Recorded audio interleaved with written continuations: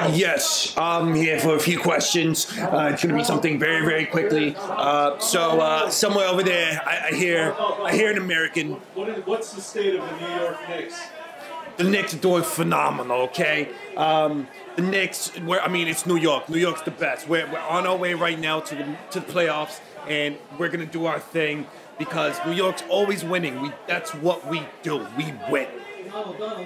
Um, No, no, no, no. Over here. Yes, yes, right over there. That's another American. Let's go. Another question. Let's go. Let's hear it. What you got? Should we build a wall around the opposing team's basket? I think we should always build a wall because I only believe in New York and in the Knicks, and the Knicks are only the best team available. So anything that's gonna help us, because I'm only concerned about us, the things that we need to do just for us, and that's why we should build a wall. Who's gonna pay for the wall? Look, we're gonna make the other team pay for the wall. Just, just, trust me. I'm gonna hire the best people, and if I don't hire the best, they're gonna hire the best. Okay? Okay. Next question. That's not true. You hired Phil Jackson. That's that's a lie. I did not hire Phil Jackson. What about Joakim Noah? Who? Joakim Noah. Joakim Noah's a phenomenal guy. Next question. What about the way he plays basketball? I like baseball, I like football, I like basketball, and Noah plays all these things well. He has two legs, two arms, two eyes. I love it. Yes, yes, that's another American there. Let's hear a question. Should we get rid of all the immigrants on the team? I do believe so because anyone that has come here that hasn't been vetted by my team, my administration, we don't know what they're up to. We don't know who they are, where they're from, and I think they're a threat to what the Knicks are really trying to do, which is win here and go to the playoffs, which I think we are on our way. I agree. The bench is doing phenomenal. We are great. We're the best. We have the best teams, the best bench, the best words, the best everything, the best of the best. Next question, please. Donald, Donald, what do you what do you think about Kristaps Porzingis? Next question, please. I don't know what Kristaps Porzingis.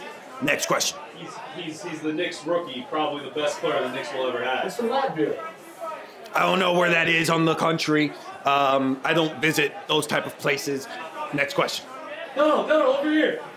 No, no, I don't like your news station. I don't like your media. You are fake news over there, don't you? No. Next person. Mature for a second. Be, be mature.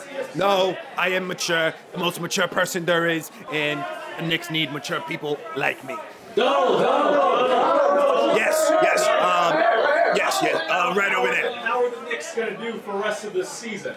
Look, the Knicks are gonna win. They're gonna win the championship because that's what Americans do. We win. We're the number one, and we're gonna win bigly. You hear me? We're gonna win bigly.